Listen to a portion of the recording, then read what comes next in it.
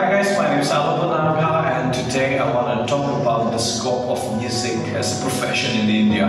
You know, when we were growing up, music was always considered as hobby and um, no one encouraged us to be honest. But now at this moment when you look around, music is a profession, you know. And for me, I've been doing music for almost 10 years right now as a full-time music, you know, as, as a full-time profession. When you say music as a profession, there are it's a huge industry, you know, it's a huge industry. So there are a lot of scopes there. You can be a performer like me, you can be a performer, you know, go like us, go around doing concerts, play venues, festivals, uh, release albums, you know, like uh, you sell your music online. So there are so many scopes, something like that. At the same time, there, the biggest in India is Bollywood. We all know that, you know, Bollywood music has been going on for ages and generations.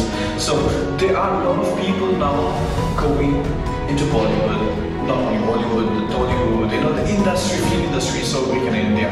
Even people from Northeast like are doing really good out there in Bombay. So you can be in a playback singer. And besides the playback singer, there are a lot of people from our region also doing as a playback a musician, you know, like they play for big names, they play for the recording station. So you can be a concert artist at the same time you can be a recording artist also, you know.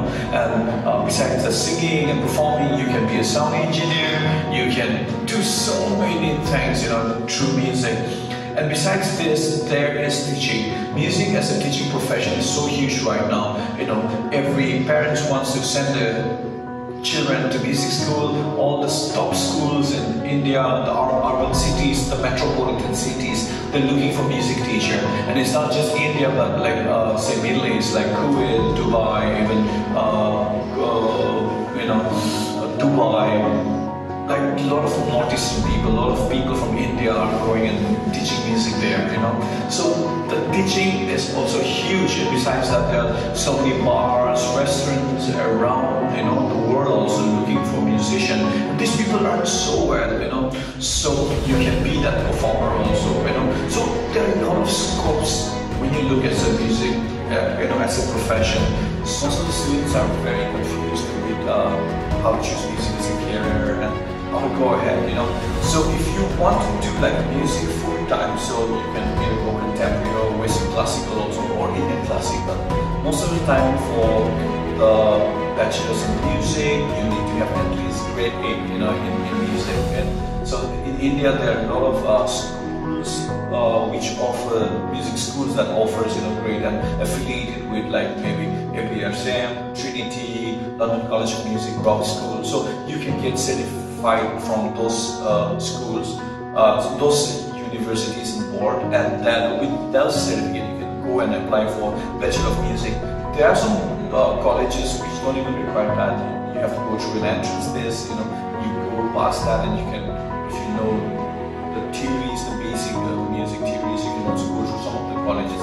So in order, if you want to go like academic wise, you can go like that, you know, after class 12. Uh, but besides that, even though you don't do that, also you can learn the basic foundation when you're in school, when you're in your high secondary, and then with that you can also go, you know, and uh, music, you choose and then you know go ahead with your life. Yeah. So there will be a lot of challenges. There will be people who will believe in us because uh, they have never been there, and uh, we can't blame them because we are from a different generation. But I can assure you today that you follow your profession. Uh, many people say that I don't need to go to music school or I don't need to know theories, I don't need to know you know formal music training to be successful. Yes, you're right. Uh, you, you don't need to know music in order to sing or play, but but it's always a plus when you know the foundation. You're more disciplined when you grow. At the same time, it gives you a wider perspective, wider knowledge, you know. So it lets you sustain. When you are not trained, you have limitations. Creativity is there, talent is there, but you are under a box and you can only perform or create under that. But when you have music education, it helps you widen, you know, your your capacity. So music education is so important. So I want to encourage uh, uh, aspiring musicians to enroll yourself, go look for good mentor, look for good music schools, and be trained and get trained. Hey, uh, I have a message for all the students there who are confused. Today we are so blessed to have Mere Mentor, a digital platform where you can go and uh, get help, you know.